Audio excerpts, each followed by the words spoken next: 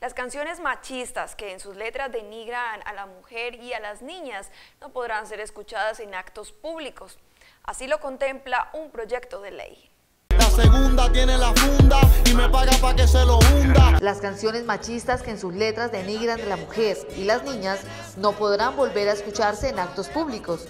Así lo contempla un proyecto de ley que radicó el senador Jonathan Tamayo. Hoy en día vemos niños de 10, 11 años viendo a una niña como un objeto sexual.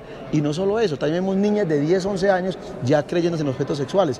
Entonces creemos que realmente eso le hace daño a la salud mental, de que eso se debe prohibir en lugares públicos, de que si a un adulto le gusta el libre desarrollo, ese tipo de música, puede ir a un bar, puede ir a una discoteca, o si el papá es responsable y lo quiere hacer en su propia casa con su hijo, lo puede hacer. Pero no podemos dar que decidan otros por la salud mental de nuestros hijos. Muchos artistas de música popular, reggaetón, ranchera, vallenato y hasta salsa han tomado como estrategia hacer canciones donde denigran de la mujer.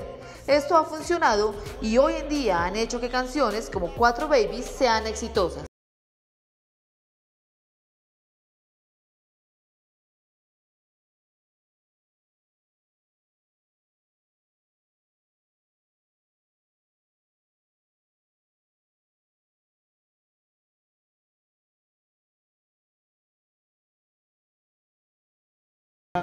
Dignidad de la mujer.